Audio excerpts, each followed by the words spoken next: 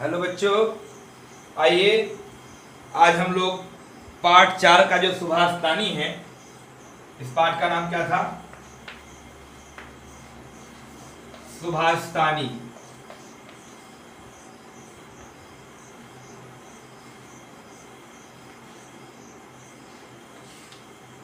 तो इसका आज हम लोग अभ्यास प्रश्न पढ़ेंगे। अभी अभ्यास, देखिए, क्या है? आपको मैंने श्लोक का अर्थ सहित व्याख्या किया है और बकायदा मैंने आपको समझाने का प्रयास किया है। दो वीडियो बनी थी लोगों की, जिसको मैंने आपको समझाने का पूर्णतः प्रयास किया है और मुझे पूर्ण विश्वास है कि आपको बातें समझ में भी आई होगी। यदि अगर नहीं आई हैं तो आप मुझसे मेरे पर्सनल नंबर पर या उसी में कमेंट करके कैसे भी आप मुझसे पूछ सकते हैं। अ, तो आइए हम लोग आज अभ्यास पढ़ेंगे। तो अभ्यास में जो पहला आपका देखिए क्या प्रश्न उत्तर तो मैं आपको बताऊँगा नहीं क्योंकि आपको अपने आप ढूंढना है। क्योंकि परीक्षा में गद्य से और पद्य से प्रश्न उत्तर ढूँढने के लिए आते हैं। मैं आपको सारी चीज़ें स्पष्ट रूप से कर दिया हूँ। मैंने आपको अर्थ बता दिया है, इस श्लोक पढ़ा दिया है, उसका भावार्थ स्पष्ट रूप से मैंने आपको बताया है। अब आपका अपना कर्तव्य बनता है कि खाली स्थान, सही गलत, सही जोड़ी, प्रश्न उत्तर, ये स्वयं करें आप तो मैं आपको व्याकरण के जो एक्सरसाइज इसमें दिए हुए हैं, ये मैं आपको बताता हूँ। एक प्रश्न नंबर सात में आपके दिया हुआ है। इसमें अस्मि। अस्मि। कौन धातु है? कौन सा लकार है? कौन सा पुरुष है और कौन सा वचन है? इसमें लिखा हुआ है। जैसे इसमें लिखा है, अस्मि, अस धातु, लट लकार, उत्तम पुरुष, एक वचन। ये इसमें किताब में आपके ये दिया हुआ है। अब जैसे घनंती दिया हुआ है। क्या दिया? घनंती। दूसरा दिया घनंती, लेकिन घनंती पुस्तक में आपके नहीं दिया है। तो घनंती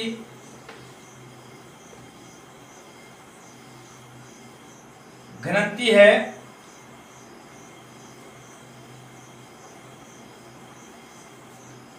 घृ धातु और जुगुप्सायाम घृणा जुगप्सा। तो वह घृणा धातु है मतलब घृ घृ धातु ही है। और ये लट लकार का, लट लकार माने वर्तमान काल। वर्तमान काल का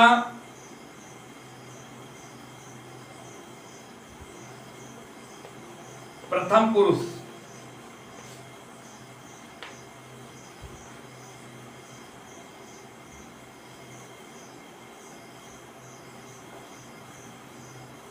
प्रथम पुरुष का बहुवचन।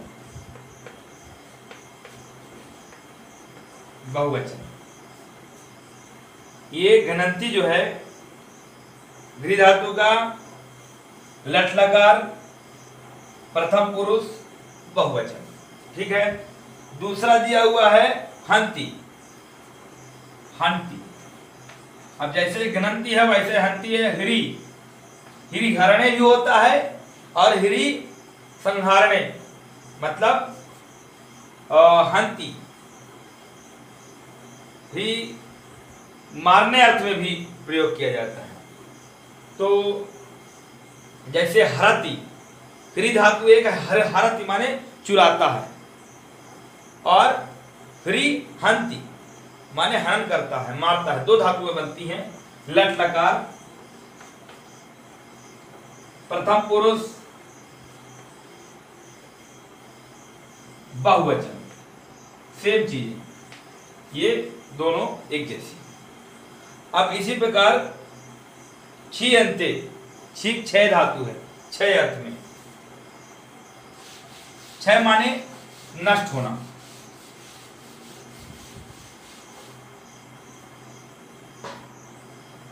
जैसे छी अंते छी चीक छह धातु है, और लट लकार प्रथम पुरुष, बहुवचन। ठीक है? अब इसी प्रकार दिया है करिष्यति। तो करिष्यति बिल्कुल अलग है अभी इससे। करिष्यति, करिष्यता करिष्यंति बनता है। करिष्यति। करिष्यति माने क्री धातु क्री करने करने अर्थ में। तो ये है लिट लकार माने भविष्य का लिट। लिट लकार माने भविष्य का करिष्यता करिष्यति करिष्यति, करिष्यता करिष्यति करिष्यसी, करिष्यता, करिष्यत, ये रूप चलता है। करिष्यामी, करिष्यावा करिष्यामह तो अब इसमें जो है लिट लकार माने भविष्य काल भविष्य काल का क्या है? प्रथम पुरुष का एक वचन। प्रथम पुरुष का एक वचन। तो ये मैंने आपको, ये व्याकरण का ये जो है आपको बता दिया कि इसमें धातु, लकार, पुरुष और वचन लिखना था। अब देखिए, अभ्यास में दूसरी चीज़ व्याकरण की क्या दी हुई है?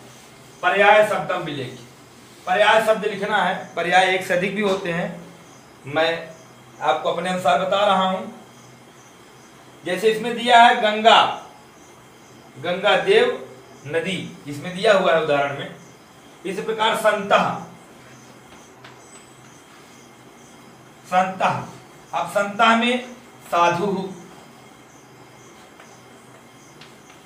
महापुरुष पुरुष, ये हो सकता ठीक है?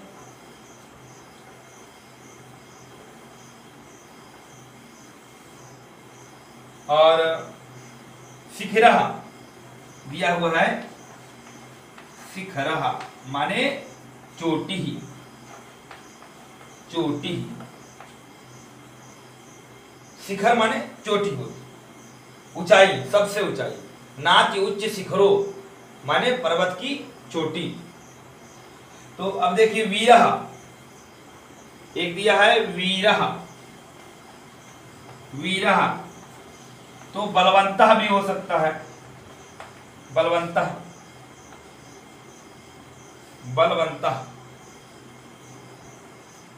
और और भी बहुत पर्यायवाची हैं। आप चाहे तो देख सकते हैं सटपदा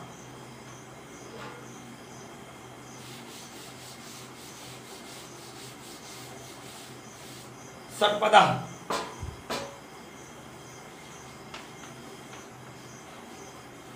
सटपदा माने भौरहा भौरहा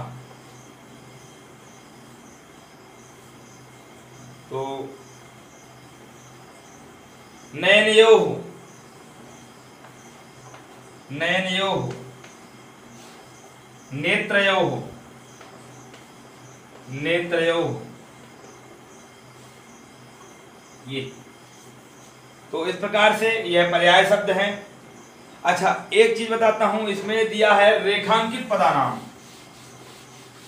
देखिए, आपको व्याकरण का समाधान करने के लिए रूप याद करने पड़ेंगे। जैसे बालक का रूप बालका, बालकौ बालका बालकम बालकौ, बालकान, बालकेन बालकाभ्याम बालकई बालकाय बालकाभ्याम बालकेभ्य बालकात बालकाभ्याम बालकेभ्य बालकस्य बालकयो बालका नाम बालके बालकयो बालके। तो इसी प्रकार राम का रूप चलेगा। जैसे बालका है तो अब आप लोग विचार कीजिए कि जब ये बालका बालका का रूप ऐसा चलता है, क्यों रामा का रूप भी इसी तरह चलेगा? क्यों? क्योंकि इसमें भी आ है और इसमें भी अंतिम में आ है। तो ये दोनों आ वाले शब्द हैं। अकारांत, इसको क्या कहेंगे?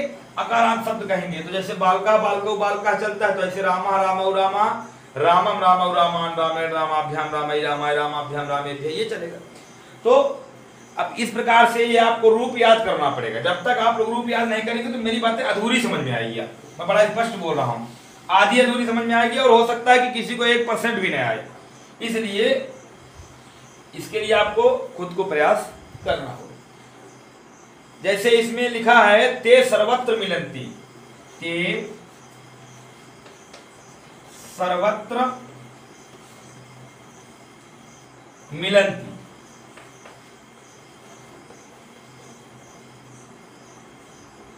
अब इसको बनाना है क्या? प्रश्न बनाना है। कहाँ पर? रेखांकित, माने जहाँ पर रेखा खींची हुई है। कहाँ पर खींची हुई रेखा? ते। ते सर्वत्र मिलंती अब आप देखेंगे कि यहाँ पर लिखा है ते। माने क्या चलता है? सातौ ते वह, वे दोनों और वे सब। माने वे सब हर जगह मिलते हैं। ठीक है ना? अब यहाँ पर तो हो रहा है कि वे सब हर जगह मिलते हैं। लेकिन अब हमको प्रश्न करना है। तो कैसे प्रश्न करेंगे? तो जैसे ये लिखा सा तऊ ते, वैसे लिखा कह कऊ के।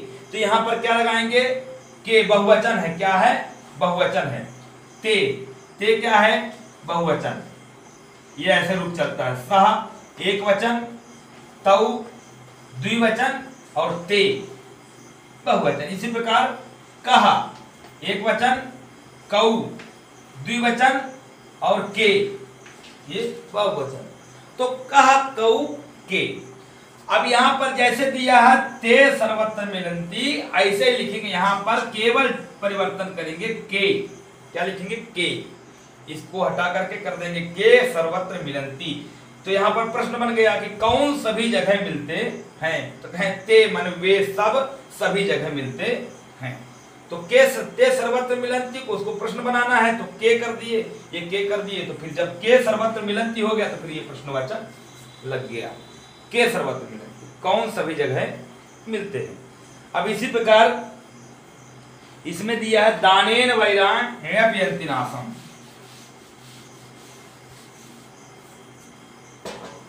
दूसरा दिया है, दानेन।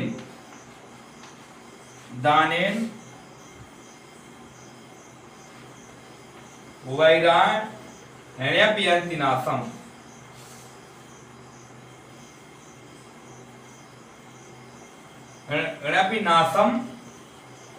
यन। ठीक है ना? तो अब इसमें लिया लिखा है कि रेखांकित पदानाम, इसको प्रश्नवाचक में परिवर्तित करना है। ये इसको जिसके नीचे लाइन खींची हुई है। इसके नीचे लाइन खींची तो इसको परिवर्तित। अब हम इसको परिवर्तित करेंगे तो क्या लगा देंगे? देखिए ते जो प्रश्नवाचक है, उसमें क्या होता है? क्या? कौन? कैसे? किस लिए? ये ऐसी जब हम संस्कृत में करेंगे तो कहा कौ के, कम कौ कान केन का अभ्याम कई कसमई का अभ्याम के ब्या, कस कहो के शाम कस्मिन कहो केसु ये रूप चलता है। तो ऐसे ही अब यहाँ पर जो दिया है दानेन, अब हमको यहाँ पर पूछना है तो क्या लगा देंगे? दानेन कौन विभक्ति है? तो दानेन का रूप चलाइए बालक की तरह। दान शब्द है। दाना दानव दाना, दानम दानव दानान, दानेन। तृतीय का एक वचन। दानेन क्या है? तृतीया का, ये क्या है? तृतीय का एक वचन हो गया। तृतीय का एक वचन कैसे चलाएँगे? जैसे बालका, बालकौ, बालका तो दाना दानव दाना। बालकम, बालकौ, बालकान तो दान दानम दानव दानान। अब इसी प्रकार बालकेन तो दानेन, एक जैसा हुआ। तृतीया एक वचन हुआ। इसके स्थान पर तृतीय एक वचन लगा किसका? कह के रूप का, किसका कह के रूप का कह के रूप का तृतीय का एक वचन लग जाएगा, कह के रूप में क्या बनता है तृतीय? कह कौ के, कम कौ कान और केन। तो दानियन की जगह क्या लग जाएगा? केन। केन वैराण्य नाशम ठीक है ना? माने क्या वैरता को समाप्त कर देता है? तो दानियन वैराण्य तो ये प्रश्नवाचक बनाने की ये विधि है। तो इसलिए पहले कह का रूप याद कीजिए। कह कऊ के, कम कऊ कान का अभ्याम कई, जब ये आप रूप याद कर लेंगे तो प्रश्नवाचक बनाना चालू हो जाएगा। तो आइए मैं आपको शायद हो सकता है कि न मिले। आपके पास न हो, इसलिए मैं आपको मैं आपको जो है कह का रूप, कह का रूप बता देता हूँ।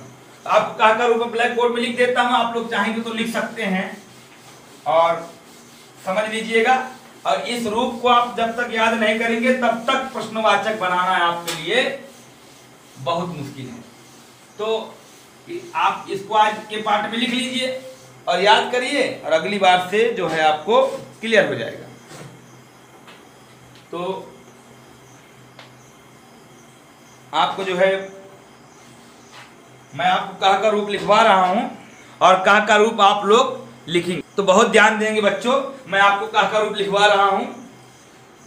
तो ये है, आपको बता दूँ, एक वचन एक वचन, द्विवचन, और ये बहुवचन। ठीक है? प्रथमा विभक्ति द्वितीय विभक्ति तृतीय विभक्ति चतुर्थी विभक्ति पंचमी विभक्ति ष्ठी विभक्ति और सप्तमी विभक्ति संबोधन इसमें नहीं होता। तो अब देखिए, कहा कऊ के, कम कऊ कान केन काभ्याम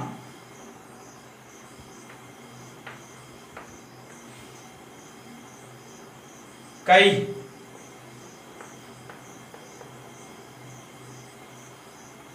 केन काभ्याम कई अब कसमई काभ्याम कसमई काभ्याम केभ्य। केभ्य। कस्मात। कस्मात। काभ्याम केभ्य। कस्य। कयोः। कासाम। और कस्मिन। कय कस कयो कासाम। हाँ कस्मिन कयो केसु। कस्मिन। कयो केसु। ये रूप है। एक, दो तीन, चार, पाँच छ सात। इसमें भी सात और इसमें भी सात। पूरी विभक्तियों के अनुसार लिखा हुआ है इसमें। लेकिन ये क्या है? मैं आपको बता दूँ, ये पुरलिंग है। पुरुष लिंग ठीक है ना? इसको हम लोग पुरलिंग कहते हैं। इसको पुरलिंग लिखा जाता है। पुरलिंग। ये, ठीक है? तो ये हो गया पुरलिंग। अब इसमें जैसे हम पुरुष के नाम पर जब आता है, तब हम कह के का बना सकते हैं। लेकिन स्त्रीलिंग भी है और इसमें नपुंसक लिंग भी है। तो आज मैं आपको एक ये दे रहा हूँ, आपको ये पुरलिंग का याद करना है, फिर अगली वीडियो में मैं स्त्रीलिंग का दूँगा, और फिर उसके बाद नपुंसक लिंग भी आपको लिखवाऊँगा। और एक तरीका बता दूँगा तो आपको समझ में आ जाएगा। पहले इसको याद कर लीजिए तो स्त्रीलिंग में ज़्यादा अंतर नहीं है। फिर वो थोड़ा सा याद करेंगे और उसमें याद आपको हो जाएगा। आज के लिए बच्चों, ये आपका होमवर्क है और आज के लिए इतना ही। जो बात मेरी आपको समझ में न आए आप लोग निसंकोच मुझसे दस बार पूछने के अधिकारी हैं। आप लोग बच्चों मुझसे पूछ सकते हैं, मैं आपको निसंदेह बताऊँगा। और आज के लिए इतना ही, मैं आपको अब अगले वीडियो में मिलूँगा। आज के लिए धन्यवाद।